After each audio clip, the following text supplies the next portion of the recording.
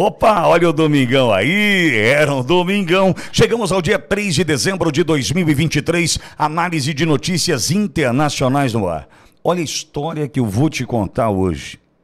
Um cachorro, um cão, desapareceu numa viagem do Brasil para os Estados Unidos e a tutora do cão denunciou a empresa de transporte de pets. Sabia dessa história? Poxa, eu vou te contar, é inacreditável. Né?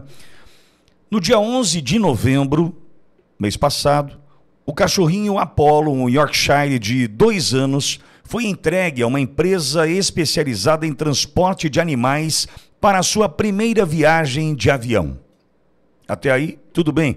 A tutora Luana Camargo pagou cerca de 12 mil reais para que Apolo fosse legalmente de São Paulo para o Texas e em seguida para a Flórida, onde passaria as férias com a família.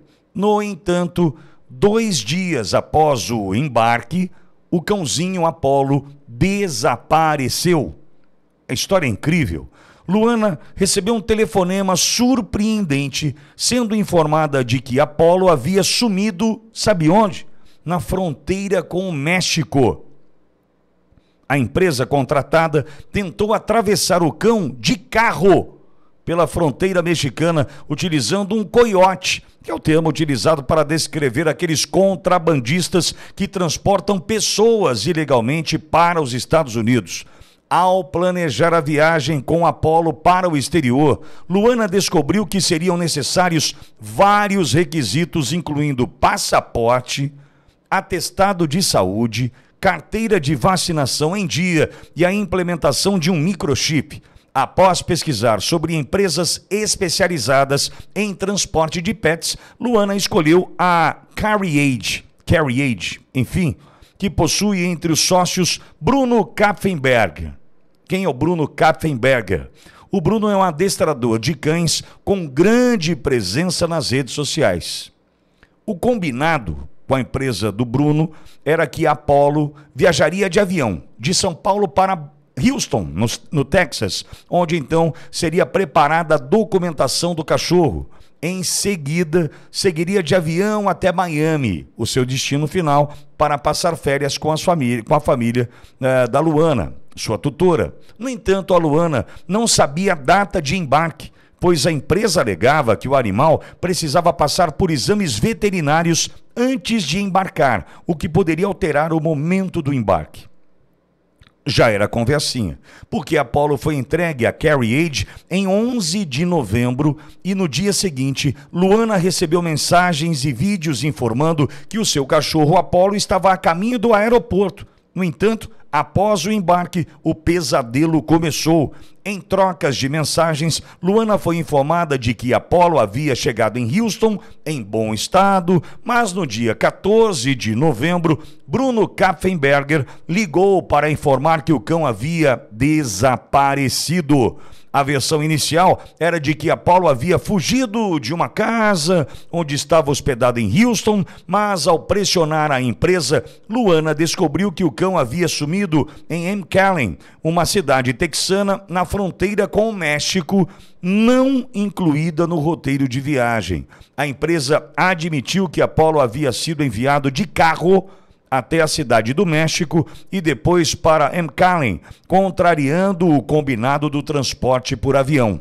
Luana denunciou a situação nas redes sociais, acionou a justiça, entrou em um embate com a Carriage, que devolveu o valor pago pelo transporte.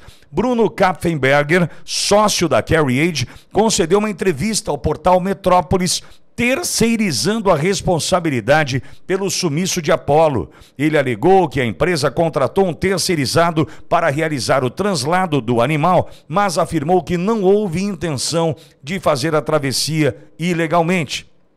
O trajeto, segundo Bruno, deveria ser feito inteiramente por avião, mas ocorreu um contratempo que levou Apolo a atravessar a fronteira com o México por vias terrestres. A tutora, no entanto, afirma que o combinado era que Apolo viajaria diretamente para Houston sem paradas no México. O caso está sendo investigado e o cachorro permanece desaparecido. Neste caso, um único comentário breve e rápido. Nem nessa situação os coiotes atendem às expectativas dos contratantes. Nesse caso, Luana foi enganada. Só que a empresa, quando terceiriza a responsabilidade de entregar Apolo são e salvo nos Estados Unidos, assume o risco.